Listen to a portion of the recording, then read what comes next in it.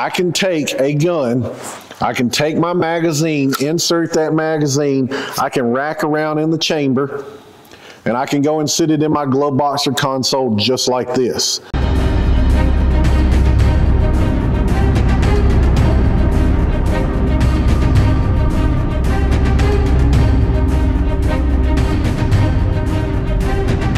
What's up, everybody? Chris with South Carolina Gun School, and as you can see here behind me, we're going to be talking about where you can have a loaded handgun in your vehicle with or without a permit here in the state of South Carolina. So let's get into this, okay? This applies to anyone, whether you're a resident of South Carolina or not. Okay, you do not have to be a resident of South Carolina for this to apply to you. So what I mean is if you're visiting, this applies to you. All right, so this is the process, whether you're going to be here in the state visiting, vacation, or if you're just passing through the state going to another state, this is the process you're going to need to follow if you are keeping a loaded handgun in your vehicle. This is a loaded handgun. If you're talking about AR pistols, AK pistols, rifles, truck guns, shotguns, bullpups, anything like that does not fall into this category. All right, and you have to follow the state's transportation laws, which we will be having a video coming up talking about that as far as your long guns and things like that. But let's get into this.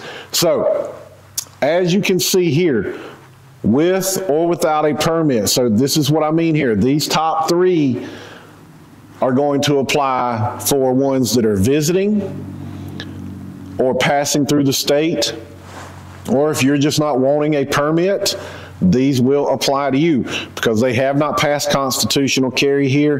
That is still being passed around in the Senate and the House and word changes and all that stuff. I'll have a video later. I'm not going to get on that soapbox. But right now, this is where, with or without a permit, you can have a loaded gun or loaded handgun inside your vehicle. So inside a closed glove box, inside a closed console, or the luggage compartment in a container with a integral fastener. Now, some of y'all are probably like, what do you mean by integral fastener?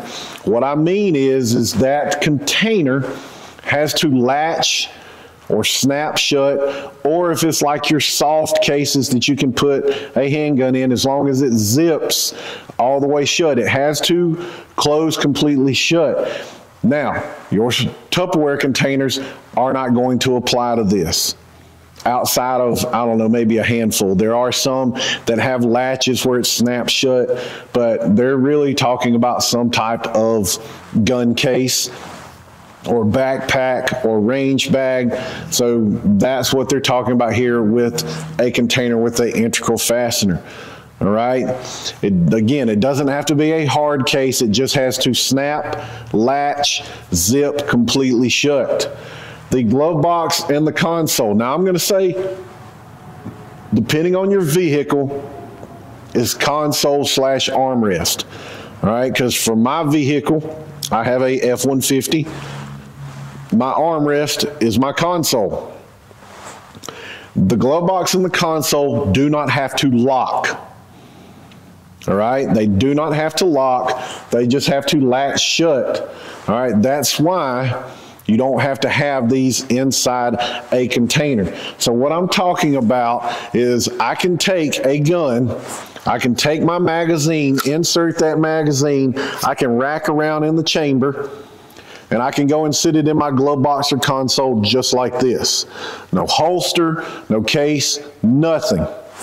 If it's going in the luggage compartment, all right, I have to have it in a container with a integral fastener. But glove box or console loaded around in the chamber ready to go just like this right here. Now the reason I'm pointing this out is what's exposed on this gun that depending on how or what you have inside your glove box or console could cause this gun to go off. Yes, the trigger, all right. I don't have an empty glove box or console. I've got tourniquets, I've got markers, I've got hearing protection, I've got binoculars, I've got all kind of crap in there.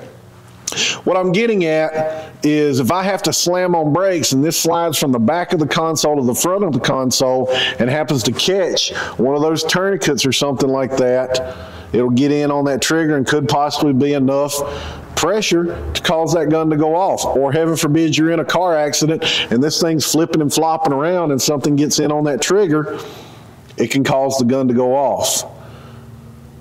Now you notice I didn't clear anything or anything like that. You see, I can't even rack this. This is a safety gun for all you freaking keyboard warriors out there talking about, I didn't clear the gun. Oh! It's a training gun. The slide does not work. It does not work. It just shoots a little laser out of it. All right. So before y'all any start on that shit, let me just go ahead and quash that. But again, my recommendation, at least put it in a holster before you put it in there, okay? Now, there are some companies that make holsters that you can mount inside your glove box or your console. But I'm not saying go spend a crap ton of money. Just get you a cheap holster, just something to cover that trigger up while it's in your glove box or your console, and something that's easy to take it out if you do have to use it for protection. Now, we're going to move on. CWP only. So these are spots where you can have the gun in your vehicle once you have your concealed weapons permit. You're still going to have these three up here. Like I said, with or without a permit. These here are only with a permit. That's your only option is with a permit. Now, with that permit, you get under the driver's seat in a container with a integral fastener, same kind of container we talked about up here. I know there are some vehicles that have little drawers under the driver's seat and sometimes under the passenger seat. Unless that drawer latches, meaning you got to push a button or pull a lever to open that drawer up, you have to put this in the container, then in that drawer just to make sure everybody understands. Now again, you've got your permit, so on your person will now be legal. And now with your new open carry law with training, so what that means is, is open carry with training act means once you have your permit, you will have the option to conceal carry or open carry. All right, so now you can actually openly carry it in your vehicle. Stick it in your cup holder the magnets, holsters that you can mount to the side of the console or up under your dash or steering column, this is when this will apply. But again, this is only once you get your permit. And for you people out there that want to start on violation Second Amendment right, this and that, I totally agree with you. But we have a legal system. Unfortunately, that legal system does not mean it's a justice system, and that does not mean it's a constitutional system. So before you all start hitting me up and beating me up over shit like that, I'm only telling you what the legal system says. Whatever you do is on you, and you got to sit there in front of that judge or jury and plead your case. So I don't want to hear any of this bullshit and y'all starting on me about this. I'm only telling you what the legal system says. It's not a constitutional system. All right, it's a legal system. This is what the law says. This is what the legal system says. So that's the only time you can openly carry it in your vehicle is once you have your permit. Now, that does differ from state to state. This is not the same spots where you're going to be able to have it going into another state. It is your responsibility. You can't play a dumb card like you would. Oh, I didn't know the speed limit was 65. I'm sorry. They're not going to let you play that here. You're a grown adult. You're a responsible adult. You have a firearm. You better check those laws. Now, in the links in the description, I will have ways that you can go in and check this out. There's nothing that you have to pay for. These are all free options for you to go in there and check out, but there will be links down in the description for you to go in and be able to find this information out. If you go in and read some of the laws and you're a little confused about what it says, because I've been confused about what some of our law or what other states' laws say I went as far as calling a state trooper's office. Hey, I'm coming to your state. I'm going to have a handgun. This is what I'm reading. I don't quite understand it. Can you please help me? They transferred me over to somebody that was able to answer my questions. So you can go that far with it. But I'm going to provide you with some great options that are in layman's terms that will help you understand this. But again, feel free to reach out to me. I'll be glad to help you. I don't know every state's laws. I have to look at this stuff when I'm traveling. I know South Carolina's, a little bit of North Carolina, a little bit of Georgia, just because they're right here where I'm at. But when I'm going past Georgia, Florida, Tennessee, North Carolina, places like that, you know, I'm looking. So if you've got somebody out there saying they know everything, they're full of shit. All right. I know South Carolina. This is what South Carolina says. So again, just to be clear, with or without a permit, closed glove box, closed console, does not have to lock, it just has to latch. So meaning again, push a button, pull a lever to open it up. Luggage compartment in a container with the integral fastener. That container has to latch, snap, or zip all the way shut. Once you have your permit, you still get the top under the driver's seat on your person or openly in your vehicle. Just a quick recap there. And this applies to whether you live here or not. Visiting or passing through, here's where you got to have it. Again, if you have questions, please feel free to reach out to me. If I'm tied up with a class or working with a client, leave me a voicemail or bear with me. I will get back to you as soon as I'm available. But I, again, I'll have links down in the description. Links are on my website. I've got help anywhere you need to go. My YouTube page, my social media, or my website.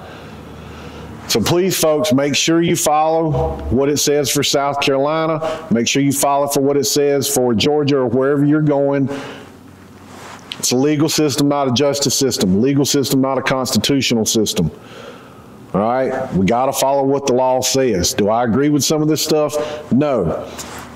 But I don't want to take that chance of pleading the case and ended up with a judge or jury that might not be a judge or jury of my peers. Questions, please feel free to reach out to me. I hope this helps everybody. Stay safe and always remember if you're not shooting, you're reloading. If you're not reloading, you're fighting. If you're not fighting, you're dead. Train to live. See you on the range.